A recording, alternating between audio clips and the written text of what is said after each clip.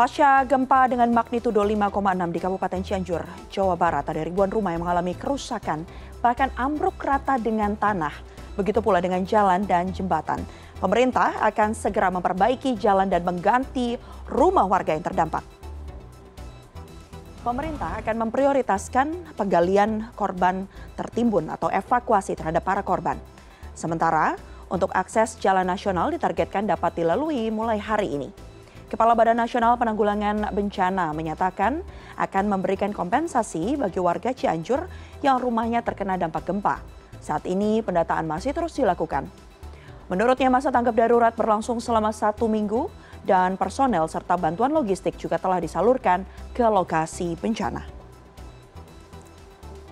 Jalan nasional itu tiga setengah, jam mulai hari ini dari jam sekarang sehingga nanti tiga jam tiga setengah jam ke depan itu jalan itu sudah bisa dilewati dan begitu juga untuk jalur kabupaten nanti kita usahakan juga ditangani secara simultan.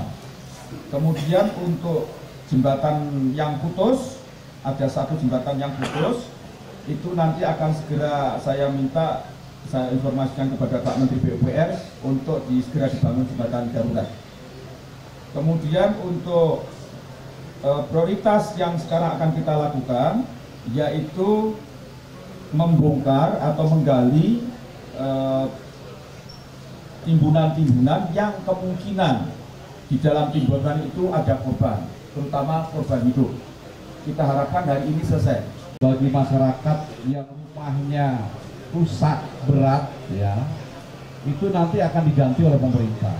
Jadi selesai tanggap darurat selesai, masuk tahap rehabilitasi rekonstruksi baru membangun rumah-rumah masyarakat yang rusak berat.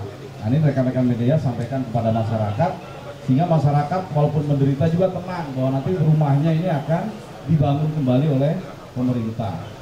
Sementara sarana-sarana yang lain seperti pendidikan, masjid, madrasah yang rusak itu juga akan dibangun kembali oleh kementerian terkait.